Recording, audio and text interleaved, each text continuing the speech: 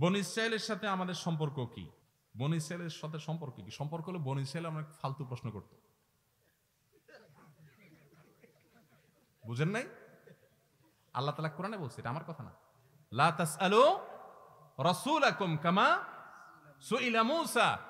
আল্লাহ তালা বলেছেন, মুসা আলাহিস সালামকে যেরকম বন ইসরায়েলের লোকেরা অনেক বেহুদা প্রশ্ন করত তোমরা তোমার রাসূলকে, তোমাদের রাসূলকে, ওদের মতো এরকম অমূলক প্রশ্ন করিও না। ইন্নাল্লাহে আমারকম আন্তাজবাহ বাকারা। আল্লাহ নির্দেশ করেছেন তোমরা গরু জবাই করো। বন ইসরায়েল রে, কালু আতাত্তাখিদুনা হুজুয়া। তারা বলতেছে, নবীরে আপনি মস্করা করতেছেন, গরু জবাই করতে বলতেছেন। তার একটা মানুষ মারা গেছে। এটা মানুষের হত্যাকারীকে অলৌকিকভাবে নবীর কাছে জানতে চাচ্ছে। তো বলছে, আল্লাহ নির্দেশ করছে, এই গরু জবে করো। এর লেজ দিয়ে বাড়ি মারবে, অলৌকিকভাবে জবাব আসবে, তোমরা করো। বলছে, আপনি কি মস্করা করতেছেন আমাদের সাথে? নবী বলতেছে, আল্লাহ নির্দেশ করছে এটা। বলে, মস্করা করতেছেন। ক্বালু দু'উ লানা রব্বা, রব্বাকা ইউবাইয়িন মা হিয়া। দেখেন বুঝছি আচ্ছা গরু জবাই করতে বলছেন। গরু তো আল্লাহ, কীরকম গরু জবাই করতে বলছেন ব্যাখ্যা করতে বলেন। এরপরে যখন ব্যাখ্যা করা হলো, তো বলে যে, গরুর কালার কি? আল্লাহ বলেন, ঠিক আছে, এত যখন জানতে ইচ্ছা, তো গরু জবাই করবা, সে গরুর কালার কি হবে? নাজরিন। এর আগের আয়াত কি? এর আগের অংশ কি? ইন্নাহা সফরা। সাদা গরু দেখছ চান্দু, কালো গরু দেখছ, লাল গরু দেখছ?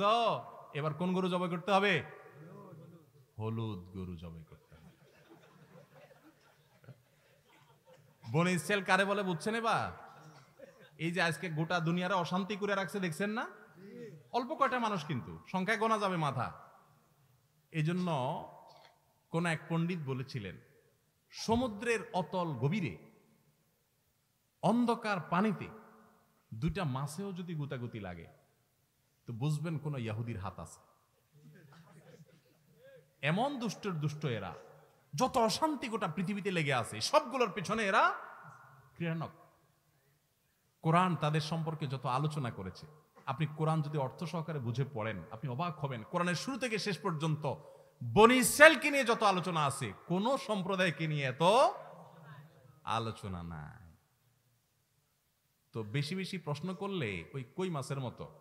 কই মাছ যখন জালে প্রথম আটকে প্রথম আটকে, সে চিন্তা করে, কি হলো একটা জাড়া দেয়? জাড়া দিয়া পরে চিন্তা করে দূর কত কিছুতে আটকিলাম, কিছু আটকাতে পারল না। দেই ঠেলা বিসমিল্লা করে দেখ ঠেলা। সামনের দিকে ঠেললে এবার পিঠের উপরে যে কাঁটা আছে, ওইটা আরেকটা আটকে। আগে কাঁটা আটকি ছিল না কিন্তু। বেশি জোরে ঠেলা দেওয়াতে আগে শুধু কলাটা আটকিছে, এবার কাঁটা সহ চিন্তা করছে, কাঁটা আটকিছে। দোত এত সোজা আমার আটকে রাখা। আরও জোরে গুতে মারে, আরেকটা কাঁটা আটকে। ঠিক না ঠিক? মানুষ যখন নিজেকে পণ্ডিত ভাবে এই যে বনিসেল্লা যেটা করছে প্রশ্ন করছে একটা পর একটা। দেখা যাক। তো আল্লাহ তালা এমন অপশন দিছেন, এবার চান্দুরা আর খুঁজা এখনও পর্যন্ত ইয়াহুদিরা সে হলুদ গাবির অপেক্ষায় আছে। এখনও পর্যন্ত। এবং এটার অনেক দিক আছে আলোচনা করার। সেদিকে আমি যাচ্ছি না। শুধু প্রশ্ন করছেন যে, ভাই, বললাম, আপনি মন খারাপ করেন না। তো প্রশ্ন সঠিক করতে পারা, এটা একটা বড় দক্ষতার ব্যাপার। আল্লাহ আমাদেরকে তফিক দান করুন। তবে এটা ঠিক যে বনি নিয়ে কোরআনে যে অনেক বলা হয়েছে, এটা আমাদেরকে আল্লাহ তারা সতর্ক করেছেন যে বনি সে বদভ্যাসগুলো যেন আমাদের মধ্যে এবং তাদের ব্যাপারে যেন আমরা সাবধান, এই বনি এবং ইয়াহুদিদের পণ্য আমাদের দোকানগুলোতে ভরা। ঘর বাড়িতে আমি আপনাদেরকে অনুগ্রহ করে বলতে চাই, আল্লাহর জন্য আমার ফিলিস্তিনের মুসলমান ভাই বোনদের বুকের উপর যারা বোম ফেলে, হাজার হাজার মানুষকে মেরে শেষ করে, বছরকে বছর ধরে যারা এই জুলুম করে চলেছে, যারা রিফিউজি হিসেবে এখানে থাকার জন্য সুযোগ পাইছে, এখন তারা বাড়িওয়ালা সেজে সেখানে মুসলমানদের বের করে দেয়, মসজিদ গুড়িয়ে শেষ করে, গোটা পৃথিবী নীরব, যারা সারাদিন আমাদেরকে মানবাধিকারের সবক শোনায়। এদেশে সমকামিতা করার জন্য, অধিকার আদায় করার জন্য যারা কোটি কোটি টাকা বাজেট দেয় আর খরচ করে, ওই মানুষগুলো সেখানকার এই বোমা হামলার পরে মুখে কুলুপ দিয়ে বসে থাকে। আছে না নাই? আমাদের দেশেও দেখবেন টেলিভিশনে লম্বা লম্বা সবক শোনায় কিছু সুশীল আছে না বুদ্ধিজীবী? এই বদের হাড্ডিগুলো দেখবেন, ফিলিস্তিন ইস্যুতে এদের মুখে সব কুলুপ। আজকে এই ঘটনা যদি কোনো অমুসলিম দেশে হইতো, তাহলে দেখতেন এরা সব পাগল হয়ে যেত। ঠিক না বে ঠিক। কোরবানির সময় দেখবেন এরা সবগুলা নড়ে চড়ে উঠে হ্যাঁ এতগুলো পশু হত্যা করা হচ্ছে, এটা মানবতা, সাথে যায় না। আছে না?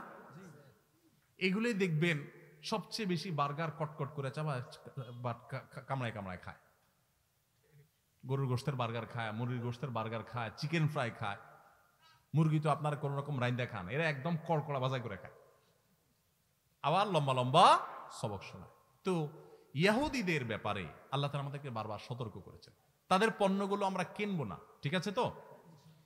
এই যে টুথপেস্ট ক্লোজ আপ এরা প্রতি বছর এই যে ফেব্রুয়ারি মাস আসতেছে, চোদ্দই ফেব্রুয়ারি উপলক্ষে, আমাদের দেশে হাজার হাজার যুবকদেরকে জেনার প্রশিক্ষণ দেয় এরা। এরা তাদেরকে কাছে আসার গল্প শোনাইতে বলে মানে কে কোথায় কোন আকাম কোকাম করছ, চিপা চাপায়, তোমাদের গল্পগুলো এসে শোনো, আমরা নাটক বানাবো। যুবকদেরকে উৎসাহিত করে। আপনার ইমানই দায়িত্ব যারা আমাদের সমাজকে নষ্ট করতে চায়। ওরা সমাজকে নষ্ট করতেছে আর টাকাগুলো এখান থেকে নিয়ে আসে এখানে বোম ফেলাচ্ছে। আমি তাদের জিনিস কিনবো, তাদের সাবান, তাদের ওয়াশিং পাউডার তাদের সফট ড্রিঙ্কস আমি এগুলো খাব না। আমার দেশিটা কিনবো আর না হলে কিনবো না। চেষ্টা করব না ইনশাআল্লাহ? আমি আমার সজ্ঞানে আমি এটা করি না। সেদিন এক জায়গায় একটা খাবার অর্ডার দিতে বলছি আমার ড্রাইভার সাহেবকে। তো উনি ফোন দিচ্ছেন, বলে যে অফার আছে, স্যার। কি অফার আছে? যদি আপনি এইটা, এটা কিনেন, তাহলে সাথে একটা কোকা কোলা ফ্রি আমি বললাম আমি খাবারই কিনবো না। এবং ওই দোকানদারের বলে দাও যে, তোমার এইটা ফ্রি থাকার প্রতিবাদে আমি তোমার খানায় কিনবো না। তুমি তোমার বসরে বলে দিও। তাহলে যেই পণ্য আমার মুসলমান ভাইয়ের বুকুর উপরে বোমা হয়ে পড়ে, সেটা আমি কখনো টাকা দিয়ে কিনতে পারি না আমার দেশিটা খাব। আছে না নাই দেশি? সেটা খাব। প্রয়োজনে খাব না, দাম বেশি দিয়ে কিনবো আল্লাহর জন্য। এটাই তো আমার আখরাতের বিনিময় হবে। আমি জন্য বলি, যদি দোকানদার ভাই কারোর সৎ সাহস থাকে, বা আপনারা দোকানদারকে বুঝাইতে পারেন কোন মুদি দোকানদারকে, ভাই, অমুক অমুক কোম্পানির পণ্য, এরা ইহুদি কোম্পানি, ভরা আমাদের দোকানগুলোতে। কেন আমরা তাদেরকে টাকা দিব? আমি আমার দেশিটা কিনবো, কম দামেরটা কিনবো, মুসলিম দেশিটা কিনবো, ইহুদিটা কিনবো না।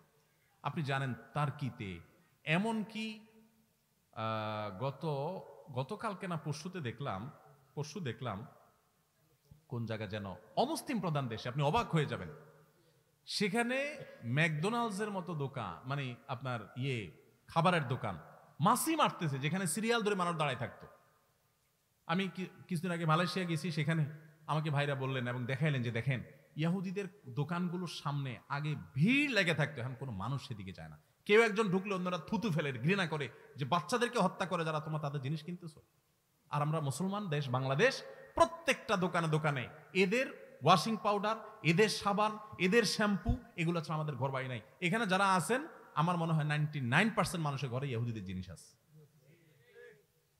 আমি আলহামদুলিল্লাহ, আল্লাহ শকর আদায় করতে পারি। আমার সজ্ঞানে নিজের পকেটের টাকা দিয়ে জীবনে আমি এদের কোনো জিনিস কিনি না। নিরুপায় হয়ে গেছেন, কোনো জিনিস তাদের কেনা ছাড়া উপায় নাই, সেটা ভিন্ন কথা। কিন্তু যেটার উপায় আছে, সেটা আপনি কেন কিনতে যাবেন? সবাই এদের পণ্য বর্জন করবেন তো ইনশাআল্লাহ?